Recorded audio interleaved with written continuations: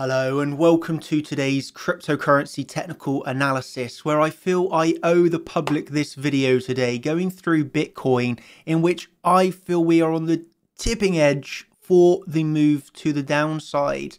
And the reason I feel so compelled to bring you this video is because of the dangerous talk that is going around on or from the larger cryptocurrency accounts. And I acknowledge that they have a large pull, so to speak, in this market.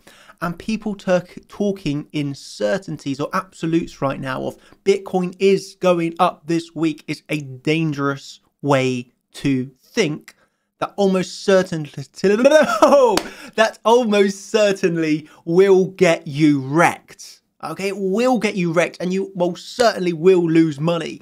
So what I'm going to do is bring you an analysis, a technical viewpoint of this chart, which will hopefully stop you getting wrecked. So with that said, ladies and gentlemen, let's go into the video today. Let's go into the analysis. Let's go into the charts. So on the four hour here, uh, as you all may or may not know, I suppose, we are very much within a range. And I know the saying is trade the range until it breaks. What you have to remember with that context though is we can always kind of get a heads up of is this still a good long? I want you to just look at the facts here. So what are a few facts that we can talk about? Okay, so no opinions here, just hard, cold facts. We have touched the low of the range one, two, three, four, five, six, seven-ish, six, seven times we've touched the low of this range. What have what has happened if we just say six times? What has happened on the last five touches? Wick on, quick recovery. Wick, quick recovery. Rel relatively speaking, V-shaped recovery. Know, again, swing failure pattern of the lows with a quick recovery. The retest, quick recovery. So the last five touches of this range low have been on very swift, quick recoveries. If we look at the sixth time here, can't you see the difference already? I hope you can. We are now consolidating above support. This is the first major difference of why this time we might want to take a little bit of care before just blindly longing down here. Hey, that could be considered low probability long right now. What is the next factor that we can look at? Obviously, I went into a lot more detail on this in my members live streams, but here for the public, just really simply put, we obviously had our range and we had our range levels and they have been respected pretty perfectly, as we all know, off of the value area high to the value area low, that point of control flipped into resistance. We obviously had the daily resistance here with, as confluence, and we have now seen the decline in price. So in the next fact, okay, this is not my opinion, this is not me trying to shield, this is just doing the hard cold facts. The next fact is we are obviously consolidating above support, and the second fact is we have lost the value area low. And not only lost it, but also back tested it, which really gives us that next step of confirmation that the value area low is currently, as we're speaking, an undeniable fact is resistance. Okay. So how could we approach this then in a sensible fashion? Well, I've already I've already kind of been thinking to myself, we all know if we just hide this a second, if we just hide this and we'll hide this, we all know what retail are talking about right now. And obviously, we, when I refer to retail, we just mean the general public. Um, 95% of traders lose money, and this is what 95% of traders are looking at right now. That, that statistic stay with you. So if 95% of people are looking at this falling wedge, who here thinks it's going to trade well? Rhetorical question, and I hope that you know my answer. 95% of people looking at this falling wedge, 95% of people lose money. Do you think this falling wedge is going to trade well? Well, that's for you to decide, I suppose. What can we what can we imagine here? If people are long in this falling wedge, where do we think their stop losses are likely? Well, I think we, we can agree people might be going for here, people might be going for the 30k lows, or people obviously might be going for the overall low, which is obviously about coming in about 28,000. So we can just say stop losses are likely going to be down there around 28,800 ish, 28,900, 28 is low exactly. Let's just be precise. you can imagine stop losses are probably about 28,700, 28,600. So you have three potential places where people might have their stops here to protect themselves from the range low, e.g. what we imagine is people are going for this, no? Up to the range high.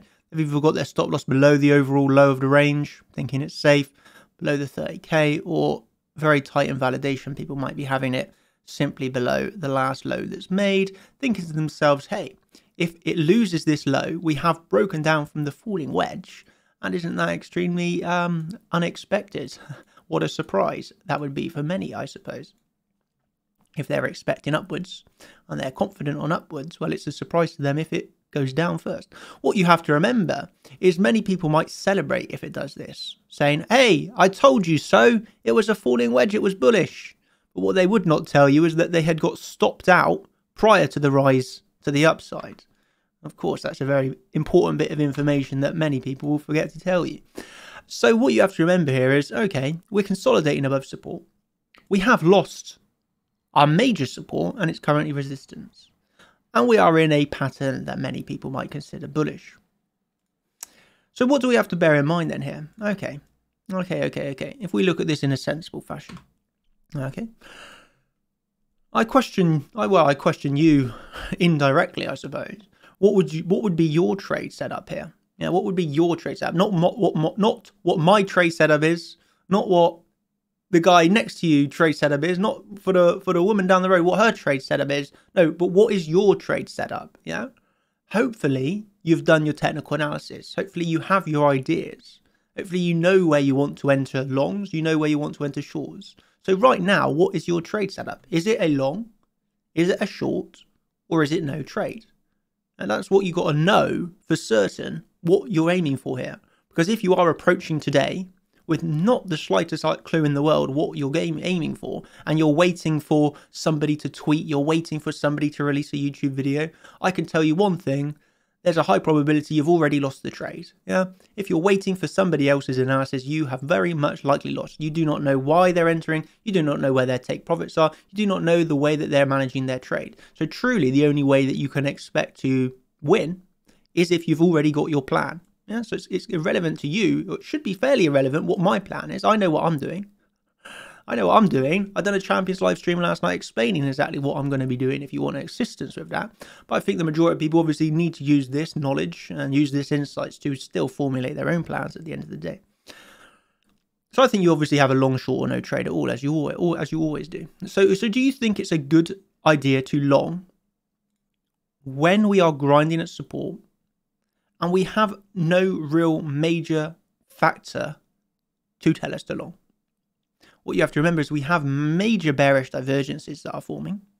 One would say it's likely that we will take out this low at the very least, for obviously some sort of swing failure pattern type move.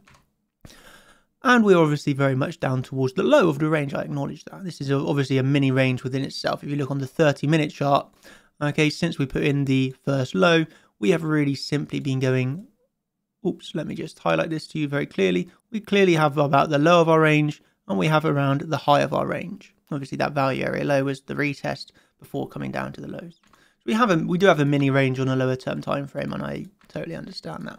But on the on the higher term time frames, do you think this is a good long? Well, in my perspective, not at the moment. not at the moment. I would like to see a little bit more further downside. Obviously, as always, and this is the one thing that you have to. I think this comes with time and experience, and you know recognizing the market, you will hear me say things like this. I personally wouldn't long here.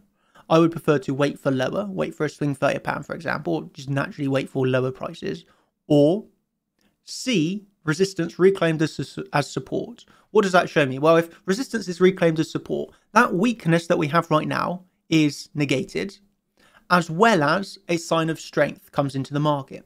Right now, we have weakness and we have no sign of strength. E.g., this is not, uh, for me personally, a good time to long. I would prefer to wait for lower. Okay. Or I would prefer to see that sign of strength, which is simultaneously negating the weakness that we currently have in the chart. So one of those two factors for me is a long trigger. But as it stands, I have no long trigger. Thus, I will not take a long. And because I'm trading in probabilities, I acknowledge, I will always acknowledge this. My analysis My analysis can be right or my analysis can be wrong, but there's one thing that you will never see me do, and that is get wrecked. Because a lot of people will always say, you know, if I proclaim here, hey, you know, I'm in a short position, I'm expecting lower, you know, you all know the comments, uh, if, if it pumps up like this, that the first comments that you get are, hey, you got wrecked. Hey, how does it feel to get wrecked? You already know that the, the comments are coming if it pumps. I already know. But the thing is, as a professional trader, you do not get wrecked off of this type of move. Just because I am not willing to long here, well, it doesn't mean I'm shorting, and, and I would not short here personally. You know, this is not for me a short, even though I'm looking for lower, but not short here. Yeah. So how would it equal getting wrecked if there's a rise in price? No, it would to uh, for, for a noob trader that has no idea what they're all about. Maybe they might like to think, hey, you got wrecked. But as a professional trader, you should never be in the position of getting wrecked. Why? Because we're adapting to the market, we're willing to change our biases, and we also use own risk management.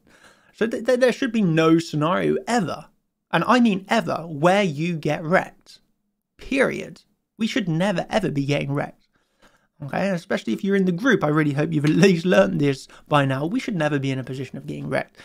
Okay, so I, I, I approached this today on a day where, yes, I obviously I'm referring to some people with large voices within the space that are speaking in absolutes. That, um, you know, for instance, never think things can happen. This is a word we should never see. Is never. Never say never in crypto because it really does. It really can make you look a bit silly.